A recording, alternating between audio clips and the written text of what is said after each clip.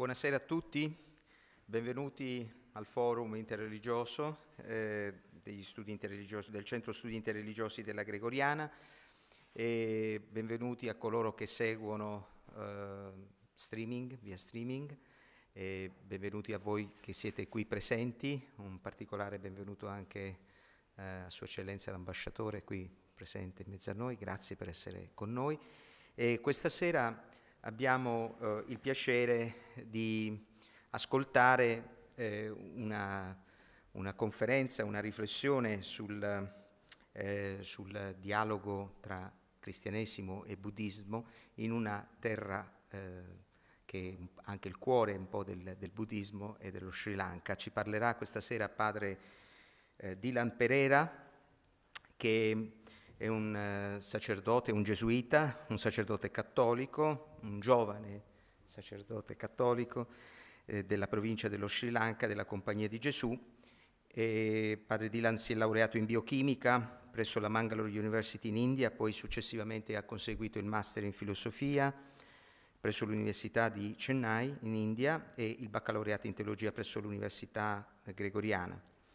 È stato eh, ordinato sacerdote eh, da qualche anno, nel 2016, e attualmente eh, sta seguendo il programma di licenza in Sacra Scrittura presso il Pontificio Istituto Biblico qui a Roma.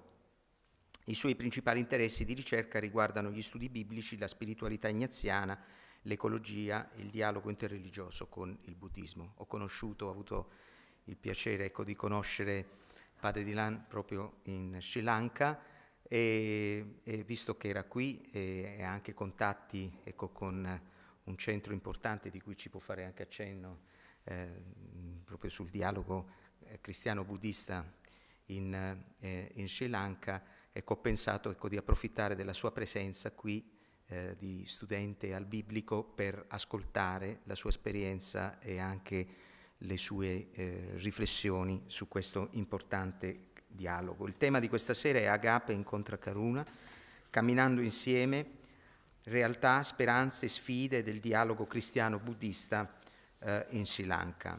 E, ehm, ecco, lo ascoltiamo eh, volentieri, come al solito vi ricordo che dopo eh, il suo intervento abbiamo un buon tempo per eh, poter fare domande, quindi osservazioni, quindi sentitevi pure liberi perché vi ricordo che i forum interreligiosi ecco, hanno proprio questo, questo eh, carattere di, eh, di, apertura, di discussione in, questo, in, questa occasione. Quindi grazie ancora, grazie per essere stato qui con noi, per essere intervenuto qui da noi.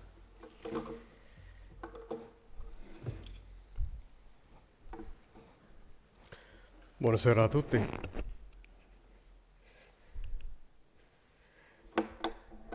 E apriamo questa presentazione con la preghiera di generosità di San Ignazio di Loyola degli, dagli esercizi spirituali. E preghiamo insieme.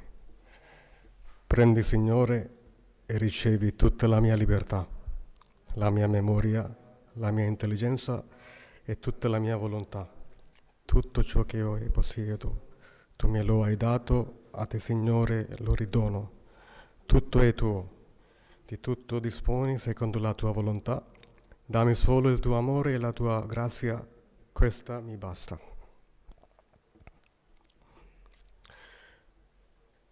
Sono rimasto sorpreso quando il professore John Bongiovanni mi ha contattato per parlare di un aspetto del dialogo interreligioso in Sri Lanka.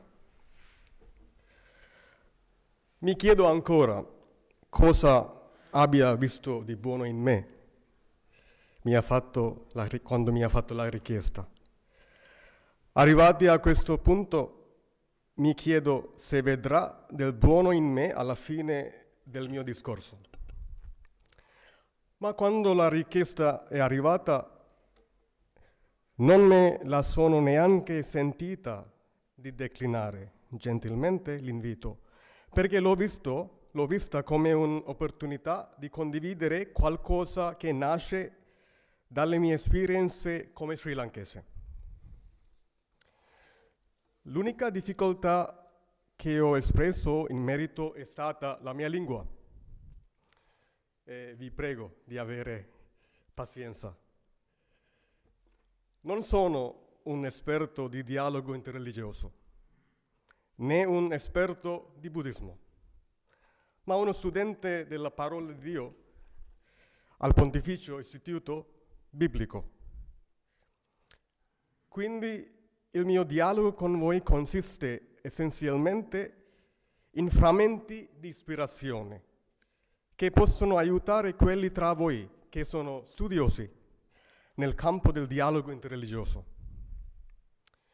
In altri termini, si tratta semplicemente di parole, riflessioni ed esperienze personali che intendo condividere con voi.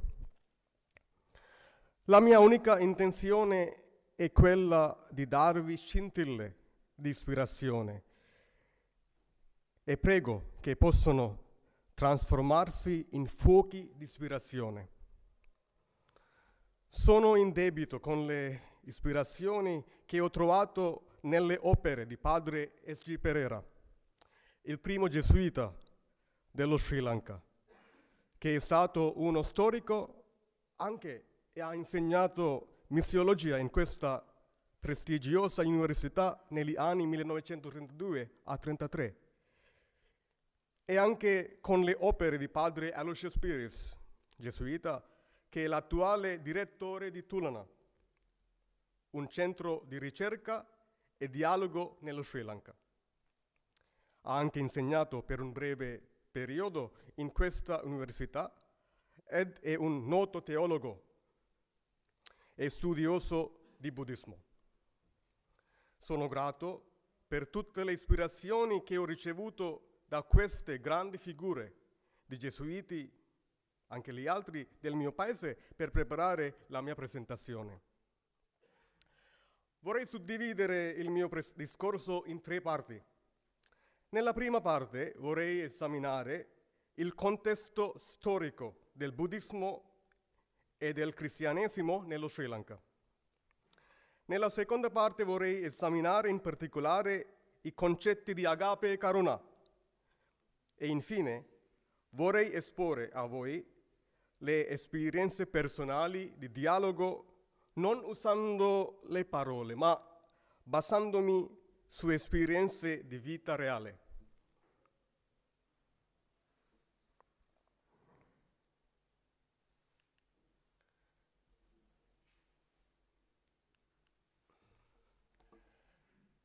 Spero che conoscete la posizione dello Sri Lanka.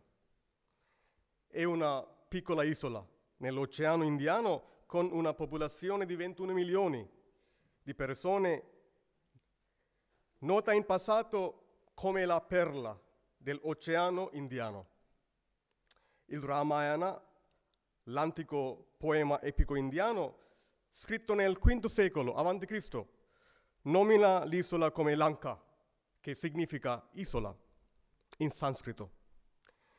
Gli antichi geografi greci la chiamavano Taprobana, gli arabi la chiamarono Serandib. Più tardi i cartografi europei la chiamarono Ceylon e dopo l'indipendenza dalle potenze coloniali fu chiamata Sri Lanka.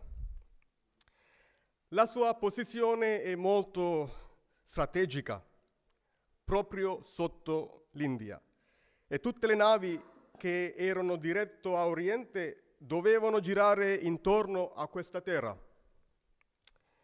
La sua posizione ha attirato viaggiatori e commercianti, amici e nemici, potenze coloniali e potenze mondiali dal tempo immemorabile e questa tendenza continua ancora oggi.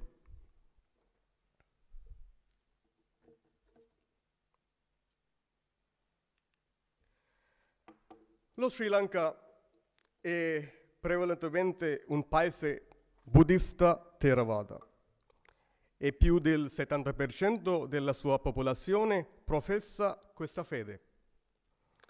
È uno dei più antichi paesi di tradizione buddista, dal III secolo a.C. Il paese divenne buddista quando il re Devanampiyadissa abbracciò questa religione in seguito all'incontro con Arhat Mahinda e i suoi compagni durante una delle sue battute in caccia. Con il re anche il popolo abbracciò la religione. Da allora tutti i re hanno avuto il ruolo speciale di aderire ai principi del buddismo e di rimanere il pilastro più forte della cultura buddista. Come sri lankese non puoi non sentire come questa grande religione sia entrata in tutti gli elementi culturali del paese, specialmente, specialmente per la popolazione di lingua sinhalese o sinhala, che comprende quasi il 70% della popolazione totale. I buddisti dello Sri Lanka credono che lo stesso Buddha abbia visitato il paese in tre occasioni e possono anche vantarsi di conservare una reliquia dei denti del Buddha e di avere lo Srimabodhi, un albero sacro, ricavata da un ramo dell'albero originale sotto cui Buddha raggiunse la sua illuminazione.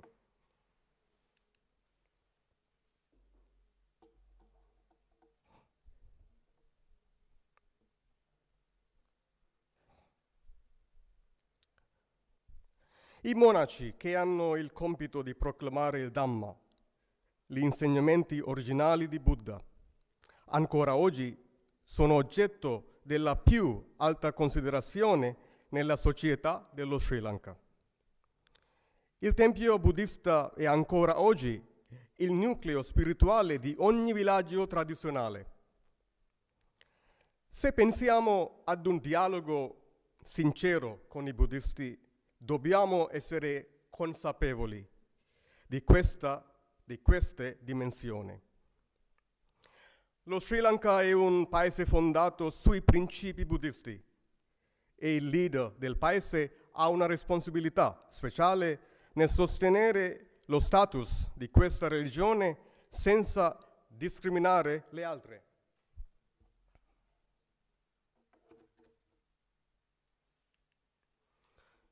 In questo paese un certo punto entra il cristianesimo. Non possiamo scartare la possibilità che San Tommaso Apostolo abbia visitato lo Sri Lanka. Lui che ha lavorato sia sulla costa orientale che su quella occidentale dell'India. Ma non abbiamo fatti storici concreti per affermarlo. Quello che possiamo affermare con sicurezza e che c'era una comunità cristiana persiana nello Sri Lanka nel VI secolo, nell'antico regno di Anuradhapura, che consisteva addirittura di un sacerdote e un diacono. Era una comunità di rito siriaco che si occupava dei cristiani persiani che vi soggiornavano per motivi religiosi, ma erano tutti stranieri. I portoghesi arrivarono nel paese Sri Lanka nel 1505 e secondo i documenti storici disponibili non c'erano indicazioni della presenza di cristiani a quel tempo. Il loro arrivo nello Sri Lanka fu un evento fortuito, in un momento in cui cercavano il controllo commerciale ma presto entrarono nella politica locale dello Sri Lanka a causa delle tensioni politiche che erano presenti tra i regni locali. Con il commercio arrivò anche la religione, ma la diffusione della religione non era la preoccupazione principale dei portoghesi. Il primo gesuita a menzionare Ceylon non è altri che San Francesco Saverio. Che scrisse a San Ignazio quando si stava preparando per la sua missione da Lisbona. Scrive il 18 marzo 1541. Un'isola dell'India abitata da gentili, senza morì né ebrei dove era grande spazio per il Vangelo. La prima missione regolare arrivò in questa terra nel 1543, quando alcuni frati francescani furono inviati nello Sri Lanka su richiesta di un re locale vicino alla fascia costiera. Essi dovettero aff- affrontare numerose difficoltà per il fatto dell'insincerità del re e la sua riluttanza a far diventare cristiani i suoi suddotti, sudditi. A peggiorare le cose c'era la difficoltà di far capire il cristianesimo alla gente. Per citare padre S.G. Pereira, le dottrine, i pensieri e le idee cristiane non potevano essere facilmente espresse in una lingua in cui le parole connotano concetti estranei al cristianesimo. Una profonda conoscenza della lingua e una grande familiarità con l'uso dell'idioma erano necessarie per tradurre in singalese anche concetti elementari come Dio, anima, paradiso, inferno, peccato, grazia e salvezza. Per diventare cattolico a quei tempi bisognava essere prima un portoghese. Era impossibile per un selonese essere un buon cattolico senza diventare allo stesso tempo un suddito molto leale e sottomesso del Portogallo e staccarsi completamente dalla cultura, dalla politica e dalle tradizioni delle antenati. Fine dalla, della citazione. Erano altri tempi. A peggiorare le cose c'erano la cattività condotta dei funzionari portoghesi e dei cristiani portoghesi. I misfatti dei portoghesi, la loro illegalità e avidità, la loro oppressione e tirannia e la loro negligenza nei confronti del re convertito e l'inosservanza dei comandamenti di Dio e della Chiesa scandalizzarono il popolo, facendo un cattivo servizio al cristianesimo. Ancora padre Pereira continua i misfatti del colonialismo portoghese. Per parlare chiaro anche ai giorni nostri, i buddisti conservano questi pregiudizi contro noi cristiani. I portoghesi furono espulsi da Ceylon in 1658, quando gli olandesi entrarono nella politica dello Sri Lanka, prendendo il loro posto come potenza coloniale. I portoghesi lasciarono dietro di sé migliaia di cristiani, soprattutto nella fascia costiera che cade sotto gli olandesi. Si trattava di nuovi convertiti, figli di convertiti e discendenti dei portoghesi che si erano stabiliti nel paese. Quello che seguì fu un periodo di persecuzione contro i cattolici. Gli olandesi bandirono tutti i preti cattolici dal paese sotto la pena di morte.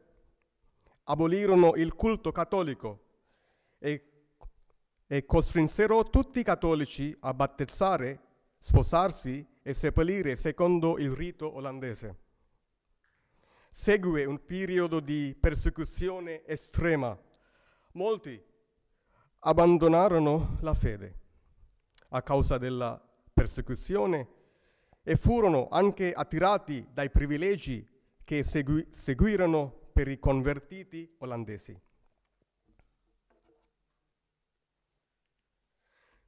C'è una figura santa che dobbiamo ricordare quando parliamo della storia della Chiesa Cattolica in Sri Lanka. Si tratta di padre Joseph Vas di Goa, India, che apparteneva all'ordine dell'oratorio di San Filippo Neri. Per citare padre Pereira, la Chiesa cattolica a Ceylon, umanamente parlando, non avrebbe avuto una storia degna di essere raccontata se padre Joseph Vass non fosse arrivato sulle sue rive in un momento particolare e non avesse agito in un modo particolare.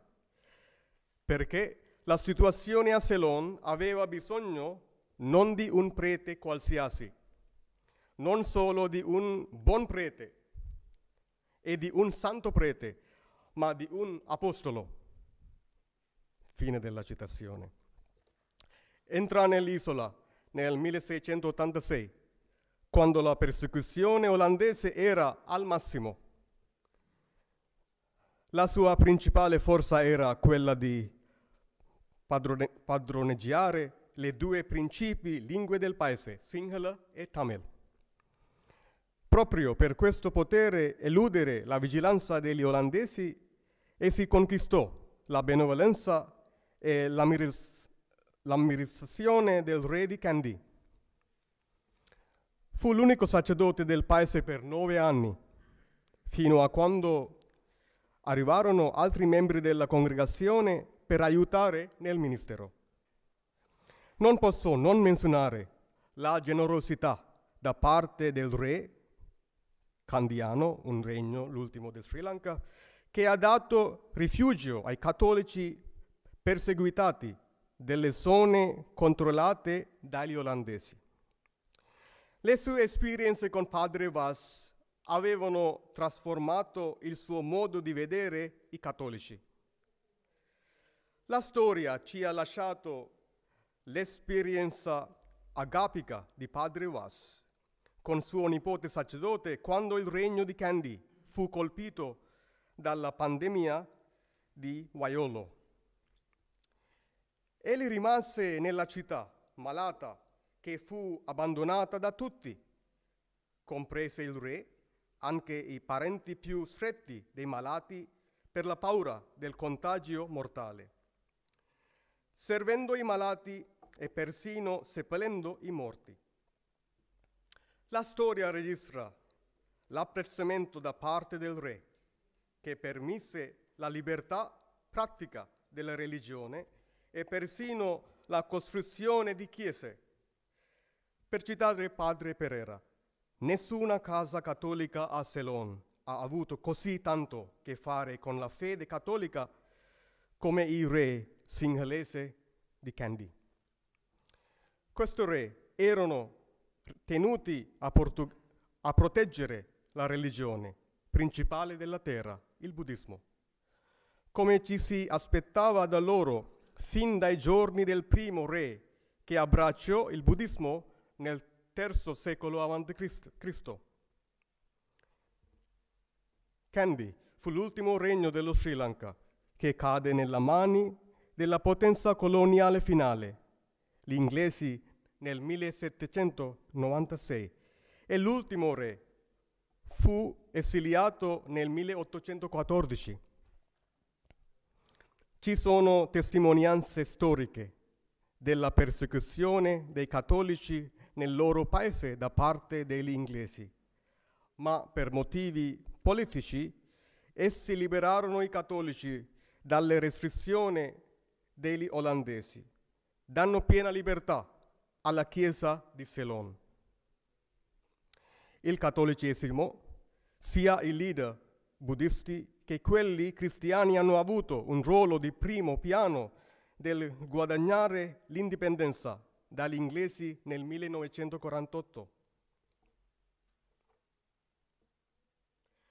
Questa conferenza non deve essere una storia dello Sri Lanka, ma è opportuno conoscere il background storico della terra, dove queste religioni hanno radici profonde. Ci, aiu- ci aiuta a ridurre gli errori del passato.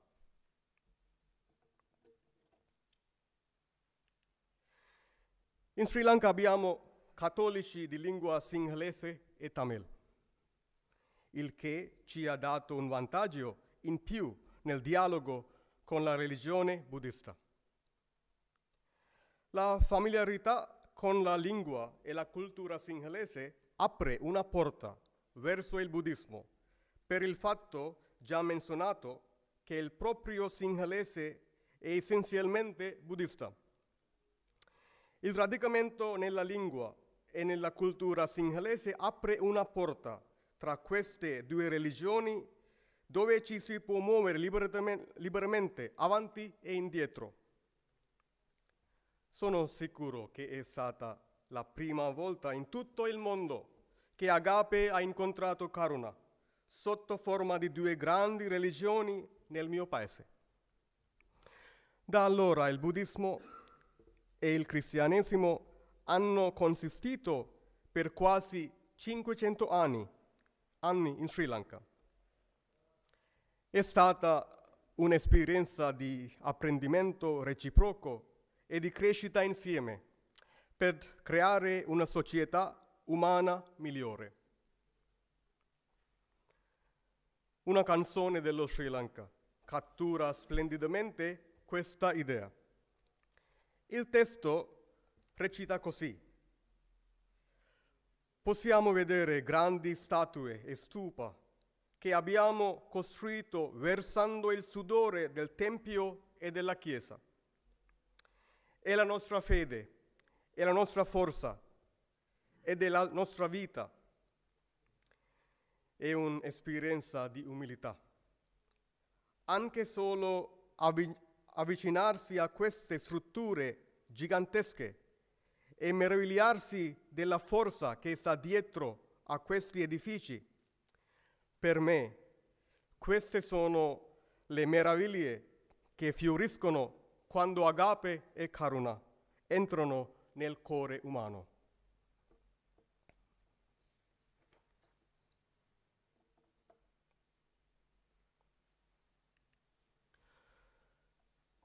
Per entrare nel cuore del mio discorso di oggi, vorrei utilizzare una delle opere d'arte del Centro di ricerca e dialogo Tulana. Si tratta di un bassorilievo che ha usato anche sul post dell'evento di oggi. È un'opera del monaco buddista dello Sri Lanka, venerabile Uttarananda Thero. Nelle parole di padre Aloysius Spiris, questo bassorilievo è unico nella storia del mondo, nel senso che questa è la prima volta che un monaco buddista presenta un'immagine di Cristo in pittura, scultura o qualsiasi altra forma d'arte. Questa è stata la sua prima immagine di Cristo e con questa ha iniziato a dipingere molte altre immagini. Questo bassorilievo mi ha fatto fermare pensare e riflettere. Si tratta della prima rappresentazione artistica in assoluto di Gesù Cristo ad opera di un monaco buddista ed è ispirata a Giovanni, capitolo 13. Cosa gli ha fatto scegliere questo episodio della vita di Gesù? tra molti altri eventi simili che si trovano nei Vangeli. Cosa l'ha attirato in questo modo? Questa immagine lo ha aiutato a fare una connessione con la sua stessa vita monaco buddista e l'abbandono di tutto per seguire la via del Buddha e del Dhamma Qui l'artista monaco ha raffigurato, e la sua interpretazione naturalmente, naturalmente, la lavanda dei piedi di Gesù Cristo. Come cristiani abbiamo per lo più limitato ritualmente la lavanda dei piedi alla liturgi- liturgia del giovedì santo. Ma per noi dello Sri Lanka, che siamo cresciuti con, una, con la cultura buddista. Si tratta di una pratica molto comune che ha luogo durante tutto l'anno in molte forme diverse. Ci sono molti altri elementi simbolici che sono presenti nell'immagine, ma rimaniamo all'atto stesso della lavanda dei piedi.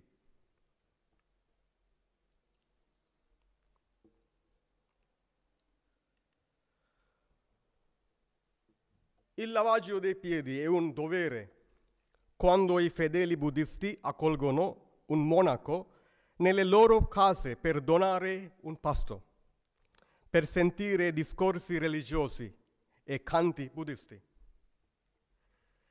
Il venerabile Uttarananda Tero ha preso parte a un pasto in comune invitato da una famiglia. Secondo il normale ethos buddista, è meritorio offrire un pasto ai monaci e i monaci normalmente arrivano con le loro ciotole da mendicante in mano. Prima di entrare nel locale dove si consuma il pasto, di solito un anziano della casa lava i piedi dei monaci, versa acqua sui piedi, li asciuga e li accoglie venerandoli. Si tratta di un'usanza che ha radici nella tradizione monastica, per cui i monaci dipendono dai laici per il loro sostentamento e questi monaci escono dai loro monasteri di solito per chiedere cibo e predicare le scritture buddiste. Sono sempre i laici che lavano i piedi dei monaci, inchinandosi davanti a loro. Buddhaghosa, famoso studioso buddista del V secolo, non esagera quando dice che persino un re si chinerebbe in venerazione davanti a un monaco che fosse tale anche da un solo giorno. Il contrario sarebbe insolito. Nessun monaco si inchina davanti a un'autorità secolare. Prendendo la veste hanno rinunciato al mondo per seguire il sentiero del Buddha e del Dhamma, il che è un atto degno di venerazione. In questo modo la venerazione del monaco non fa riferimento solo a quell'atto specifico in quella specifica situazione, in quanto i monaci diventano l'incarnazione della presenza vivente del Buddha e del Dhamma.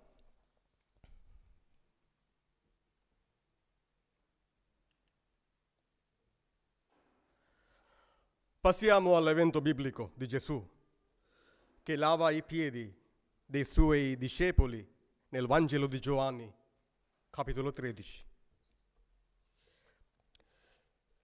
Prima della festa di Pasqua Gesù, sapendo che era giunta la sua ora di passare de- da questo mondo al Padre, dopo aver amato i suoi che erano nel mondo, li amò sino alla fine.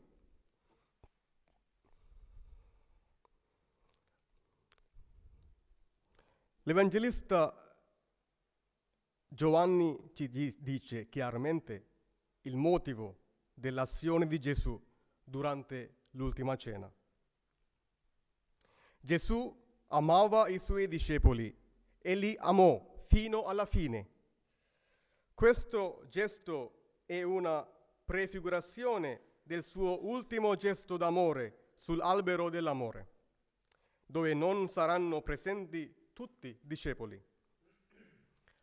Ma, questa, ma questo era il momento di mostrare il suo amore in azione, in una manifestazione concreta.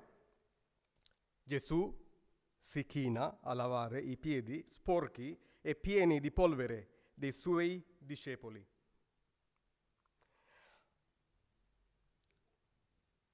Ma L'Evangelista usa il verbo greco agapao per esprimere l'amore di Gesù verso i suoi discepoli e l'amore incondizionato di Dio per gli esseri umani e degli esseri umani per Dio. È lo stesso amore della prima lettera di Giovanni, capitolo 4. Carissimi, amiamoci gli uni gli altri, perché l'amore è da Dio. Chiunque ama è stato generato da Dio e conosce Dio.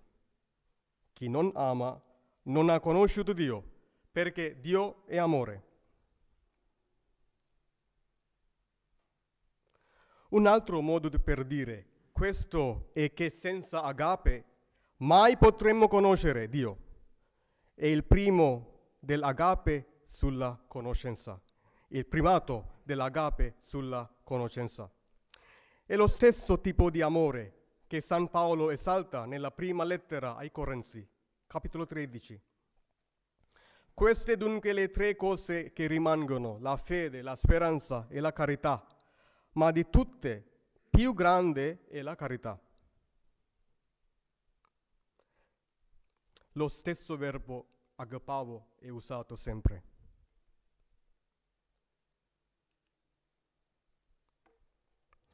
Karuna è la versione buddista dell'agape. Come l'agape, Karuna è un amore redentore. È il desiderio di rimuovere la sofferenza. Karuna è contro raga, che è l'aspetto erotico, sensuale, egoista e acquisitivo. Karuna è contro dvesha, che è odio e cattiva volontà. Araga e Dvesha si oppongono rispettivamente a raga e a moha, che sono l'amore non egoistico e il perdono. La dimensione della conoscenza diventa salvifica solo con karuna. La presenza dei Buddha che sono apparsi ne sono apparsi finora 28 volte, 28, bud- 28 volte, e apparirono nel mondo umano e solo per Karuna, nei confronti della moltitudine, per mostrare la via di uscita dalla sofferenza e per raggiungere la liberazione finale. La decisione di Gautama Buddha che fu l'ultima ad aprire, fu di dedicare il resto della sua vita alla predicazione del sentiero della liberazione. Questa decisione è considerata la sua vittoria finale su Mara, il dio della morte, il tentatore. Così i sei anni di ricerca della verità salvifica di Gautama Buddha non finirono con l'acquisizione della pagna ognosi salvifica, ma si evolsero in 45 anni di karuna e o coinvolgimento compassionevole con la gente, con il mondo, attraverso l'amore disinteressato per i suoi abitanti. I tre valori ultimi del buddismo sono il Buddha, il Dhamma e il Sangha, che formano la comunità religiosa.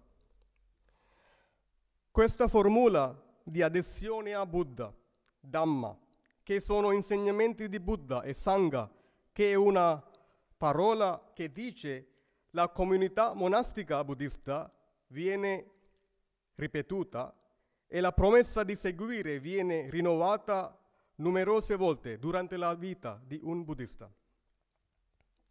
Il Sangha rimane l'elemento più tangibile e accessibile dei tre che rende veramente libera una persona. Quando un fedele lava i piedi dei monaci buddisti e li venera, è la più alta forma di rispetto che egli può mostrare verso il Sangha. Essi sono l'incarnazione vivente della persona di Buddha e il karuna che si genera nel cuore del fedele, che rende questo atto ancora più sublime. Non è un atto di sottomissione, ma un atto di karuna.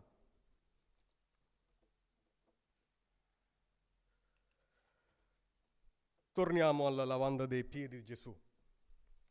Gli disse Simon Pietro, non mi laverai mai i piedi. Gli rispose Gesù, se non ti laverò non avrai parte con me. Il nostro Signore e Maestro si umiliato per iniziare i suoi discepoli. Non si è fermato lì, ha invitato i discepoli a fare lo stesso e attraverso i suoi discepoli lo stesso invito viene fatto a tutti coloro che lo accettano come loro Signore e Maestro.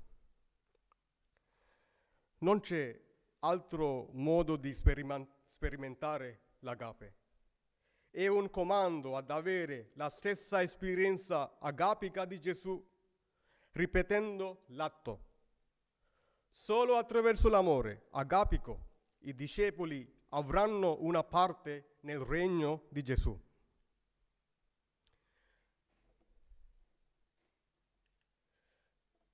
C'è un altro evento nel Vangelo di Luca che merita la nostra attenzione. Una donna peccatrice lava i piedi di Gesù usando le sue stesse lacrime e i suoi capelli per asciugarli.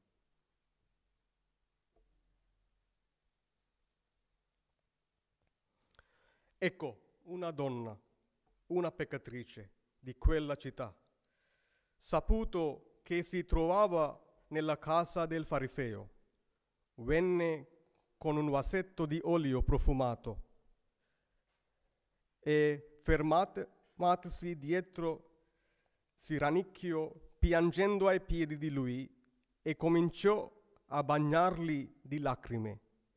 Poi li asciugava con i suoi capelli, li baciava e li cospargeva di olio profumato. Gesù dice, per questo ti dico, le, sue, le sono perdonati i suoi molti peccati, poiché ha molto amato. Invece, quello a cui si perdona poco ama poco. Gesù esalta l'atto d'amore della donna. La parola greca agape appare ancora una volta come forma verbale di amore. Senza agape non c'è redenzione. La donna riceve il perdono perché il suo amore era amore di agape in abbondanza. Ci sono molti altri modi di mostrare l'agape. Allo stesso modo, Karuna non è solo un sentimento o una singola espressione che si genera nel cuore dei fedeli laici che si chinano a lavare i piedi del Sangha. Entra nei cuori di tutti coloro che sono lì riuniti, assistono a questo atto, a partire del bambino più piccolo fino al più anziano della comunità laica. Tutti, non, tutti noi impariamo assistendo a ciò che diventa una pratica che si trasmette da una generazione all'altra.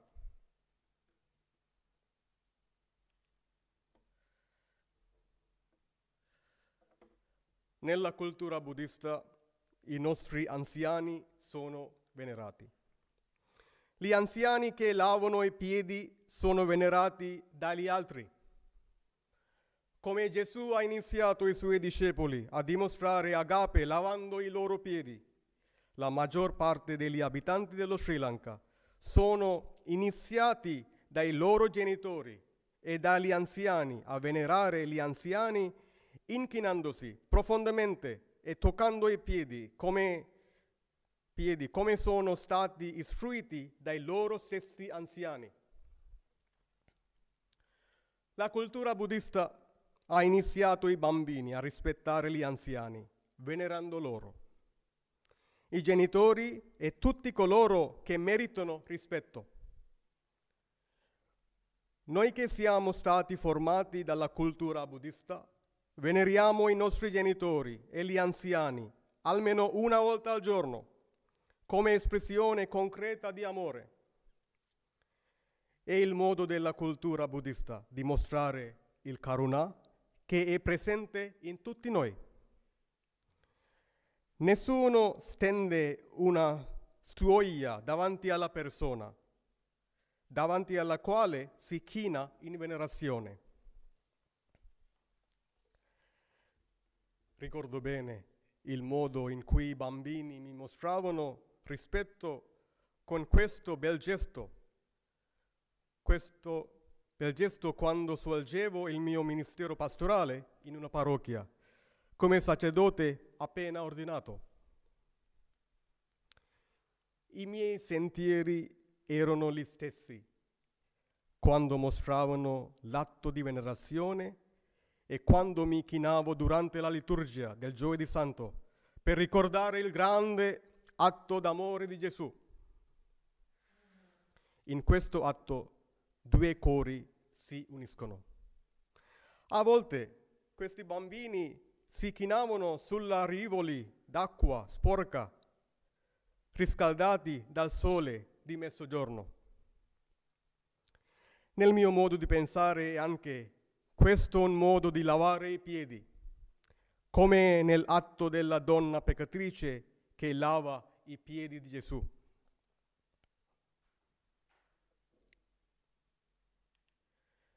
Come vi ho detto, ci sono molte forme per mostrare questo gesto. Il Buddha non solo predicava la via per la fine della sofferenza, ma egli stesso serviva i malati lavando e pulendo non solo le piaghe pursolenti, ma anche gli abiti pursolenti e sporchi di sangue. C'è la famosa affermazione di Buddha, chi assiste i malati assiste me. Come è simile l'affermazione del nostro Signore e Maestro in Giovanni, capitolo 13, verso 8, se non ti laverò, non avrai parte con me.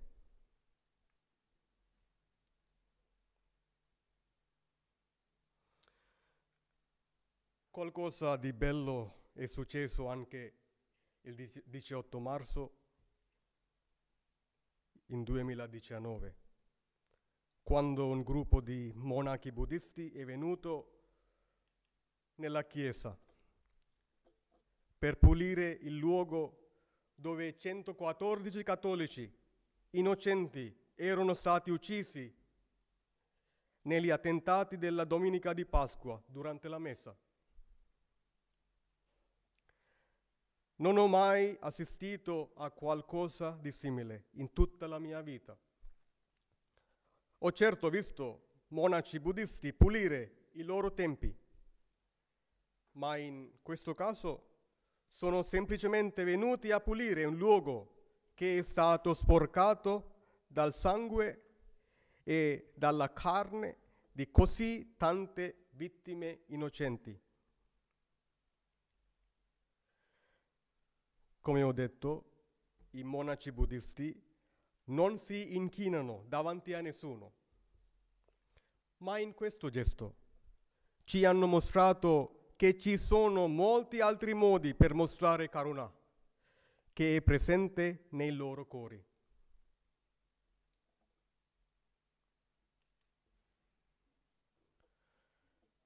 Agape incontra karuna. Due tradizioni monastiche si incontrano nella prassi. Le espressioni di Karuna sono un segno della profonda religiosità che è presente nell'espressione monastica della cultura buddista. E le espressioni agapiche d'amore sono parte integrate del cristianesimo monastico. Potrei dire con la massima convinzione che l'incontro, che l'incontro tra agape e karuna ci aiuterà molto a capirci. Quando abbiamo elementi così comuni nelle nostre spiritualità è facile incontrarsi, rispettarsi e imparare gli uni dagli altri. Questo incontro ci apre un cammino per un autentico dialogo tra cristianesimo e buddismo. Qui il nucleo del cristianesimo entra in contatto diretto con il nucleo del buddismo, dando vita e espressioni visibili e concrete di agape e karuna tra queste due grandi religioni. In questo approccio i buddisti in Sri Lanka possono anche scoprire il vero Cristo, rifiutando le loro nozioni di un Cristo coloniale, che pur non essendo la vera buona notizia, tuttavia continuano ancora a perseguitare la coscienza culturale buddista. Entriamo nella parte finale della presentazione. Vorrei farvi conoscere una grande personalità della storia della Chiesa Cattolica dello Sri Lanka. Si tratta di padre Marcelin Jaikodi, un oblato di Maria Vergine, che ha dato un immenso contributo come musicista, paroliere, autore ed esponente della cultura na- nativa. La sua caratteristica principale è che era conosciuto come il padre cattolico del Tempio buddista, a causa del suo profondo radicamento nella cultura buddista. Era profondamente rispettato dai monaci buddisti, così come dai fedeli buddisti e dai cristiani dello Sri Lanka, perché tutti sapevano che il suo approccio era diverso. Nelle sue stesse parole, sono singhalese, la mia religione è cattolica e la mia cultura è buddista. Suo padre era un fervente cattolico e sue, sua madre era una fervente buddista.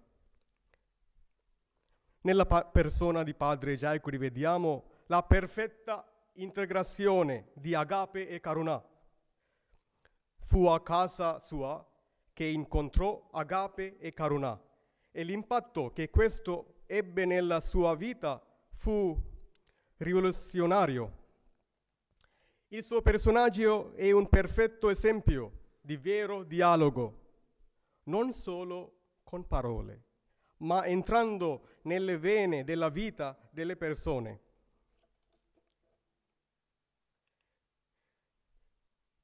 In questo momento anche vorrei ricordare con gratitudine mia nonna e anche mia madre, che mi hanno introdotto ad agape e karuna fin dalla mia infanzia attraverso le loro stesse azioni di vita. Mia nonna proveniva da una famiglia cattolica molto tra- tradizionale e la sua vita è stata piena di agape fino alla fine. Mia madre proviene da una famiglia tradizionale buddista. È diventata cattolica poco prima di sposare mio padre. Quando è entrata a far parte della mia famiglia, ha portato in dono Karuna, avendo vissuto 31 anni della sua vita profondamente radicata nella religione buddista. Non sarà una bugia di dire che oggi mia madre è entrata profondamente nel modo agapico di amare anche più di mio padre, che è stato cattolico per tutta la sua vita. La maggior parte dei miei parenti sono buddisti. Una volta all'anno i fratelli, le sorelle, i cugini di mia madre venivano sempre a casa mia per il Natale e andavamo nella casa della famiglia di mia madre ogni volta che c'era una festa religiosa tradizionale. Non ricordo di aver mai parlato o discusso di religione, ma sono cresciuto assistendo alla bellezza di queste due grandi tradizioni religiose senza che la mia identità cristiana ne fosse sminuita. Tutti questi incontri erano pieni di agape e karuna. Ancora facciamo tesoro di questa esperienza tra le, tra le nostre famiglie.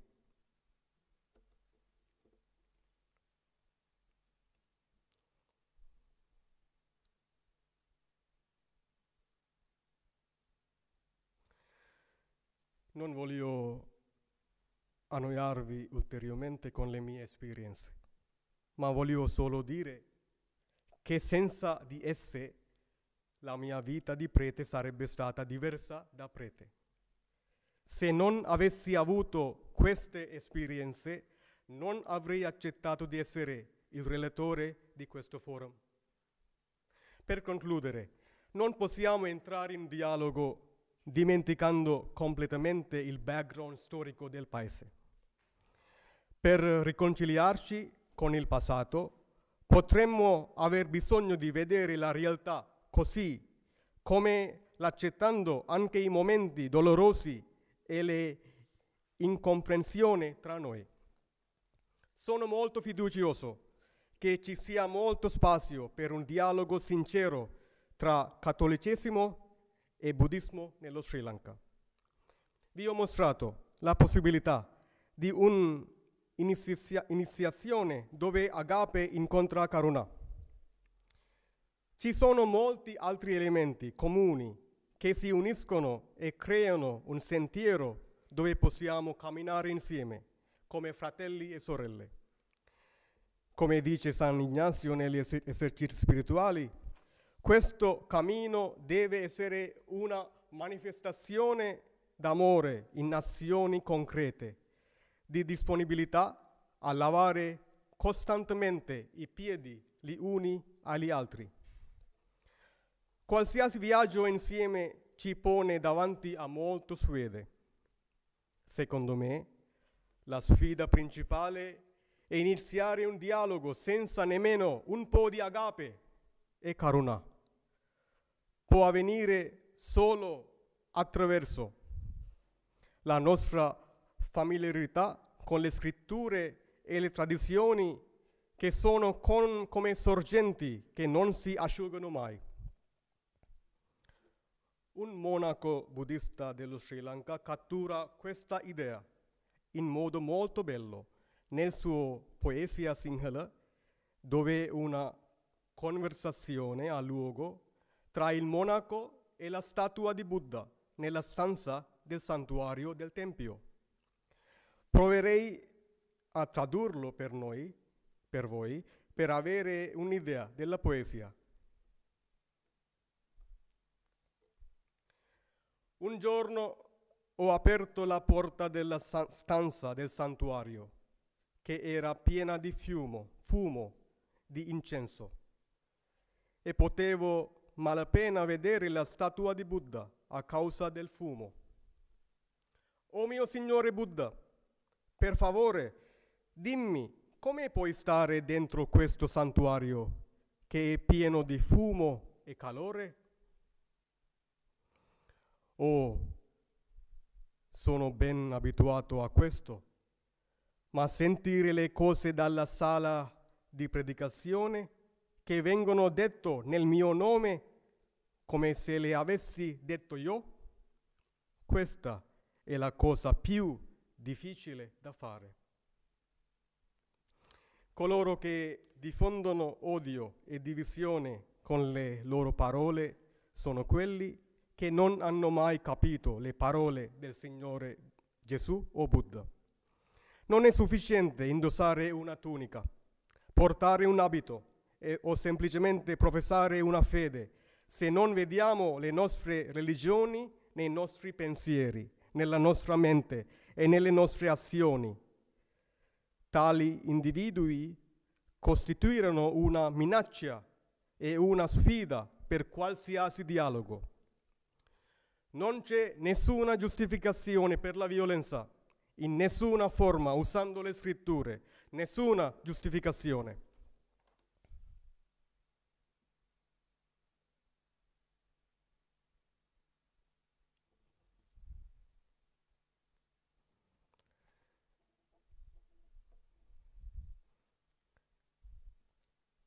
Permettimi un'ultima citazione, così finiamo. Si tratta di una sezione della dedica del libro Gesù di Nazareth e Gesù di Barat di padre Aloysius Spiris, dove scrive della bella amicizia che ha avuto con un grande tero, si chiamava Balangoda Anand Maitri Tero. Cito le parole di padre Piris. Il tuo ultimo adio è chiaramente incastonato nei nostri cuori per non essere mai cancellato. Ho potuto capire il nucleo del buddismo solo attraverso i libri che mi hai dato e non mi hai dato, solo sperimentando la tua vita. Se un'anima liberata come te è venuta all'esistenza attraverso una certa disciplina scritturale, sono giunto alla conclusione che deve essere vera usando il criterio di Gesù che ci ha detto, dai suoi frutti riconosciamo un albero buono da un albero cattivo.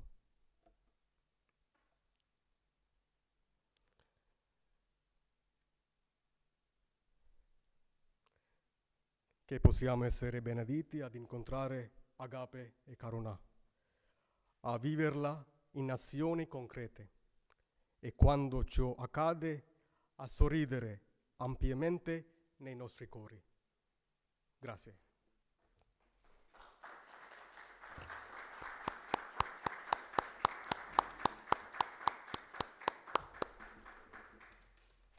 Puoi lanciare l'altra diapositiva? L'altra diapositiva?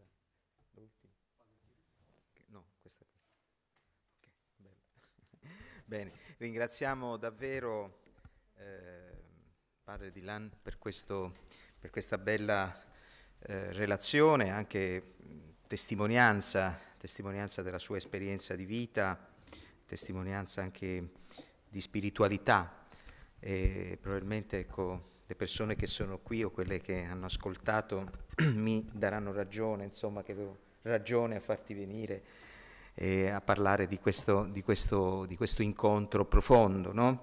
al di là ora dei temi che possono essere ampliati e come sapete i forum non hanno, eh, come dire, sempre, diciamo, la, la, non hanno la possibilità ecco, di approfondire tutti i temi, ma ecco, di presentare anche i temi in generale e di offrirli anche per una riflessione personale. Quindi sono molto contento, grazie. E voglio rispondere alla tua domanda del perché. No? Io avevo un, un debito di ospitalità, perché una delle prime volte che sono andato in Sri Lanka, Dylan che ancora non era prete, diciamo, vero? Ancora non eri stato ordinato, mi ha ecco, accompagnato me e mia moglie anche a fare qualche giro, ma mh, qualche incontro e quindi è stato un, un bel momento. Però ecco, c'è un debito anche di, di ospitalità verso un paese che eh, sto conoscendo via via, un debito che io dico anche d'amore per questo paese che, in cui si sperimenta amicizia, gentilezza, fede nelle varie attività, negli incontri e che viene da un lungo periodo di sofferenza, tutti conosciamo, una guerra civile pesante. E quello che ho scoperto negli ultimi tempi, ecco, padre Di Lan non l'ha menzionato, ma forse possiamo puoi anche dire qualche parola, questo processo di riconciliazione interessante che c'è in tutto il paese, in cui la Chiesa Cattolica ha un ruolo veramente anche importante no? nel, nel collegare e mettere insieme le varie realtà che sono state in conflitto. Quindi eh, veramente grazie e anche eh, se è online, non so, padre Aloysius Piris, anche un saluto a lui, ecco, per, per, il lavoro, il grande lavoro di dialogo che fa in questo paese e contributo alla riflessione teologica. Ecco, apriamo, quindi grazie ancora, apriamo nostre, così, il nostro forum, le, se ci sono domande, osservazioni, curiosità.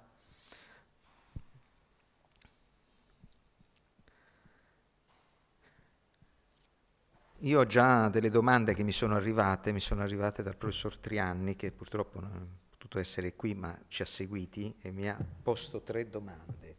Vediamo, eh, fa sempre troppe domande. no, allora dice, eh, eh, allora tre, tre, domande osservazioni. Dice, si, po- si possono mettere in relazione bodhisattva buddista e il santo cristiano? Prima domanda. Seconda domanda, si può fare un paragone tra una religione fondata sulla relazione con una persona vivente ed una religione in cui non c'è il concetto di persona?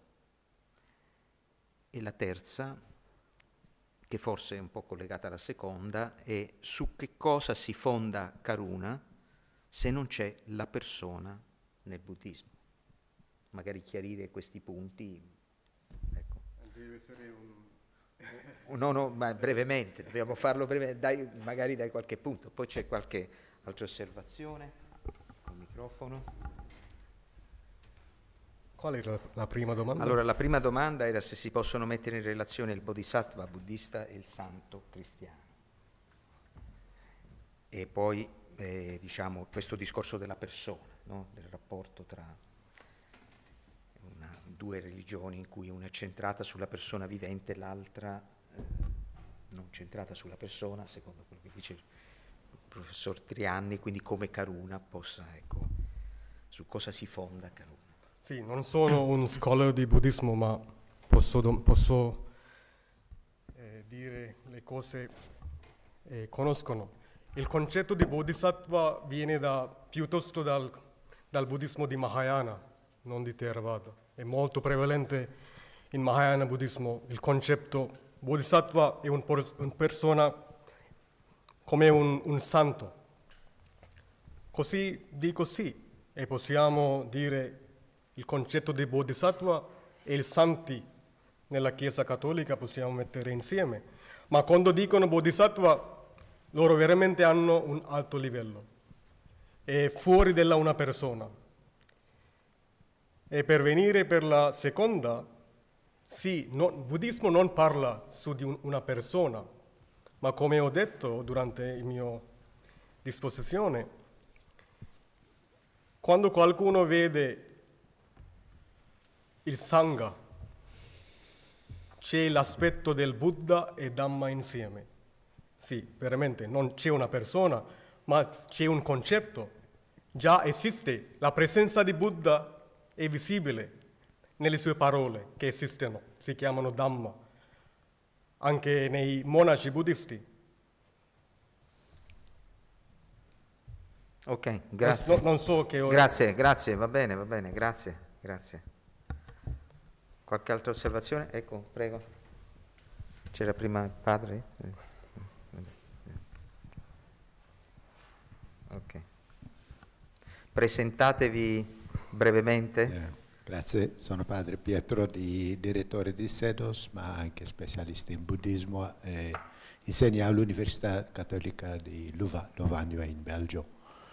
E si fa pensare, la, la, domanda Ambrogio, non c'è una persona e la reazione è no, c'è la sangha. No? Allora, in, per i cristiani anche la persona è non individua, ma è connesso con le altre. E allora questa è la vera persona, la, la, la risposta era in, in, eh, nell'unione delle due. Oh, grazie mille per, per, mettere Carruna e, il Agape insieme. E era un po' una sorpresa perché la Karuna, Compassion, è del, parte del Mahayana buddismo piuttosto che il Theravada buddismo. Nel Theravada buddismo a Sri Lanka abbiamo avuto un po' il problema con del, un, un, libro del Papa Benedetto nel tempo, Benedetto no, era prima ancora, di Giovanni Paolo II, The Threshold of Hope, e la reazione a Sri Lanka era forte, erano anche delle morti. E anch'io non, io sono, ero missionario in, in Giappone e so lì la, la relazione con il buddismo non c'è un problema, ma sente in Sri Lanka è forte l'impatto della storia e quando ho sentito che anche il cristianesimo non ha dato un bel segno eh? con, con, la colonizzazione, certo. quando si sente quello eh, ancora un ca- cammino da fare, penso, no? per mostrare il vero cristianesimo e in- con- incontrare il vero buddismo di Sri Lanka. Hanno, ho, ho, avuto un, un, um, un, incontro iscritto con un scholar di Theravada buddismo ma ho sentito che c'è ancora un grande eh, problema con il Dio, il Dio del buddismo non si può dire, non si può parlare di Dio, no? Eh, questa è forse la storia da dentro. Eh, per, per, una domanda è, per lei, qual, qual è la cosa che il buddismo deve o posso imparare di cristianesimo a Sri Lanka. Questa, grazie.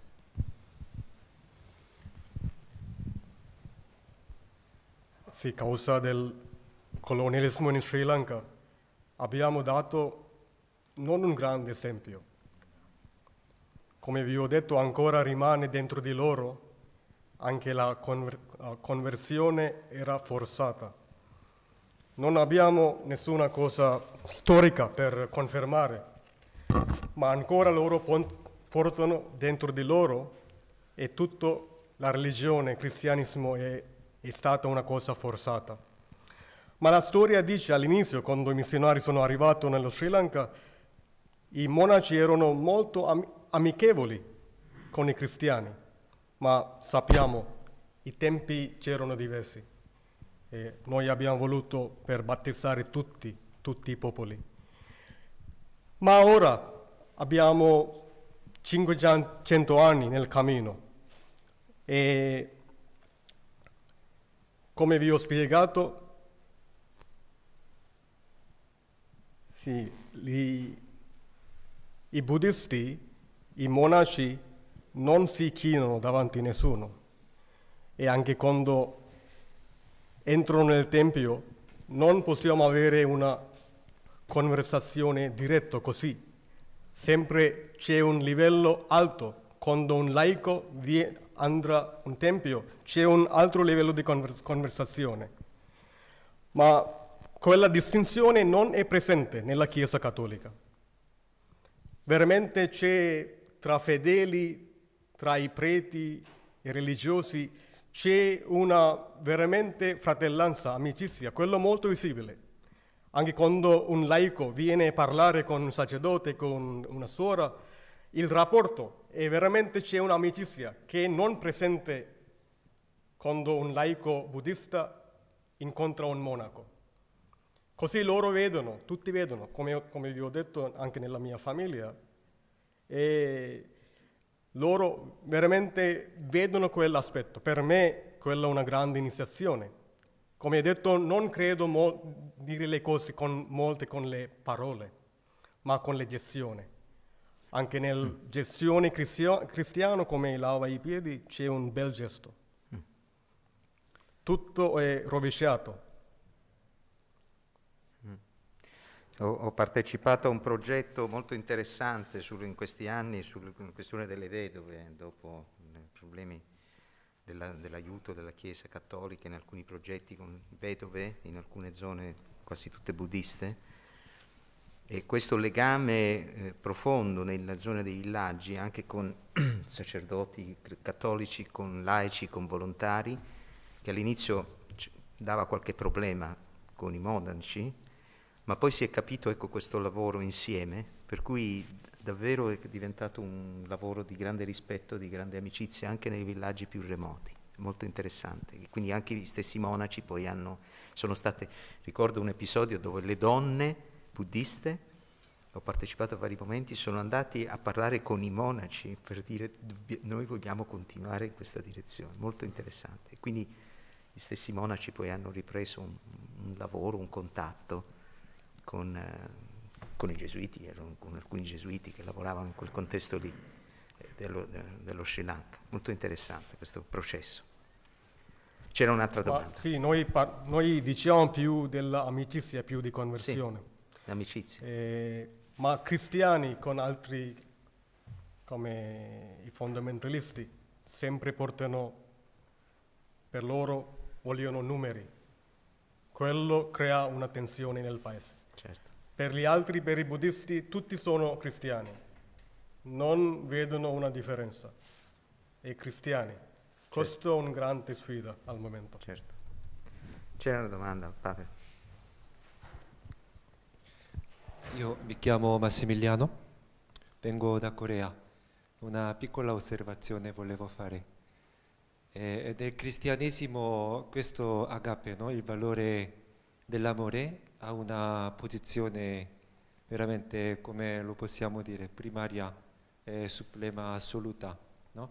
Cioè anche il motivo stesso che Dio ha creato il mondo, ma anche il motivo per cui Gesù Cristo è venuto, è diventato l'essere umano, era l'amore. Ma io eh, nel buddismo, soprattutto lì eh, nel Theravada, eh, c'è un altro valore che più è diciamo, più importante, più fondamentale, no? il Nibbana. Uh-huh. E, però credo che questi due valori, agape e karuna, possono, possano avere la stessa funzione. E, sì, questa è la mia osservazione. Anche insomma, recentemente io ho scoperto un concetto. Di, uh, Raymond Panikar ha parlato di eh, equivalenza omeografica, no? E volevo condividere insomma Om- questa... Omeomorfica. Omeomorfica, come ho detto, sono un po' nervoso. sì, sì, sì, sì. Omeomorfica, sì. sì. È funzionale comunque, equivalenza sì, funzionale. Sì, certo. E, è stato molto interessante, è, è stata molto interessante la sua presentazione, soprattutto questo confronto con un'immagine così concreta, eh, lavare i piedi. Grazie. Sì, forse tutti pensano è più facile di avere un contatto con agape e pagna che l'aspetto del Sofia, come visto. Sapienza. Sapienza. Sapienza. Ma per, per me, quando, vedendo quel dipinto, mi ha fatto di pensare perché lui ha usato da tante immagini? Sì, quando parliamo sul buddismo diciamo di pagna, quello di sapienza, ma per me più di parlare, sì, pa- sapienza, quando parliamo su sapienza forse c'è il pericolo di entrare in un dialogo, un dibattito. Quando vogliamo avere un dialogo è meglio di avere una cosa più simile di sapienza ma Karuna è anche l'amore redentore, la stessa cosa come agape. C'è agape e Karuna, c'è Sofia e Pagna, sapienza insieme.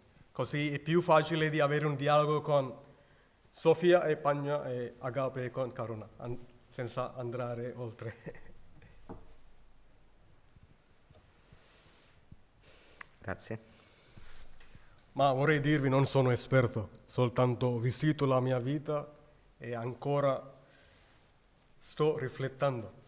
Anche vorrei tornare nel mio paese e forse se Dio mi chiama, forse lav- anche lavorerò nel campo interreligioso. È un grande maestro, posso assicurare.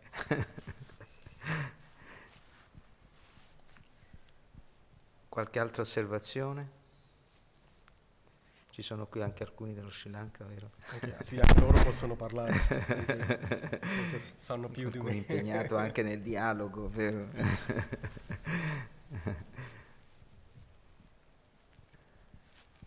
Vediamo se c'è qualche domanda.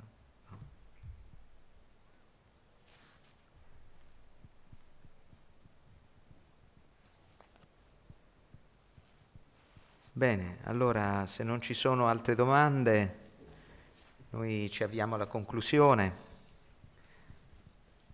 Voleva dire qualcosa? No. no. E quindi ringraziamo ancora Padre di Lamperera per questo tempo che ci ha dedicato, per questa opportunità, per questo sforzo che ha fatto, ma alla fine il risultato è molto positivo per noi. Quindi mh, ringraziamo per per questa testimonianza ecco, gli auguriamo ecco, di proseguire i suoi studi, il suo approfondimento, il suo cammino e anche il suo desiderio ecco, di ritornare a lavorare nel suo eh, paese, nel suo amato paese. Quindi grazie ancora di tutto.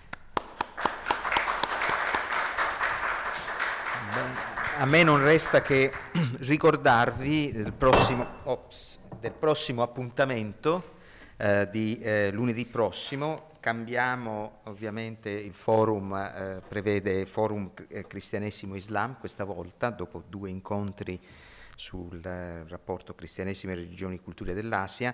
Il prossimo incontro è il, te- il, titolo è La fede, un coraggio nel perdono e verrà a parlare padre Jacques Murat che appartiene eh, alla comunità di Marmusa, comunità fondata da Paolo Dall'Oglio e ci parlerà, vi anticipo, della sua, della sua testimonianza, è stato prigioniero eh, del, dell'ISIS per parecchio tempo e quindi ci parlerà ecco, di questa sua esperienza eh, così complessa, ma soprattutto eh, in vista del suo cammino, della sua scelta di un cammino in dialogo con, eh, con l'Islam.